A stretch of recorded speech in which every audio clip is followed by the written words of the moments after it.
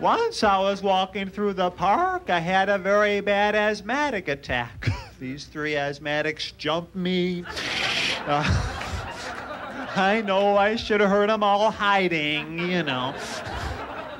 So always carry ragweed. Oh, oh, I found our cat the other day. Well, I would have found him a week ago, but we have a grass bag on the lawnmower. And, uh, well, I hate to rake, you know. My mom said, Emo, my woman's club is coming over. Mow the lawn. I said, let him graze, you know. When I was a little boy, my dad said, Emo, do you believe in the Lord? I said, Yes. He said, Then stand up and shout, Hallelujah. So I did, and I fell out of the roller coaster. well, he's a kidder. I used to pray every night for a new bicycle. Then I realized the Lord doesn't work that way, so I just stole one and asked him to forgive me.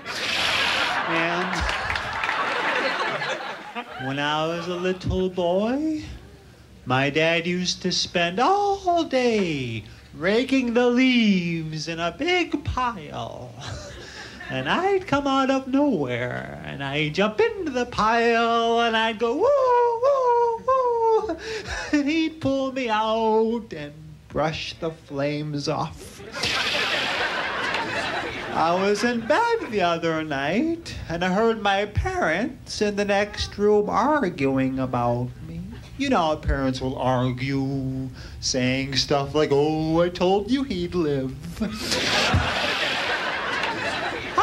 every time I see Dan Quayle, I, I have an incredible urge to ask him if I can buy a vowel? I'm mad at the Russians because I read they're beating us in a race to put a man on Mars because we're sissies and we're limiting ourselves with the extra technical burden of bringing the guy back again. You know. Doesn't like the Republicans because of the budget deficit, but that's not fair. What is it, 200 billion? What's going to happen? Is Japan going to come over and say, hey, Uncle Sam, we want the money? We'll say, well, we don't have it.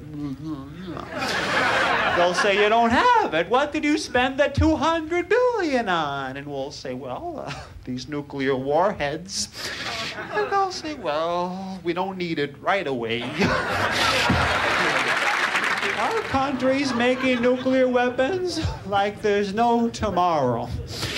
And I think we have to protect ourselves from the Soviet Union. The Soviet Union is a very weird combination of evil and incompetence, kind of like the post office with tanks.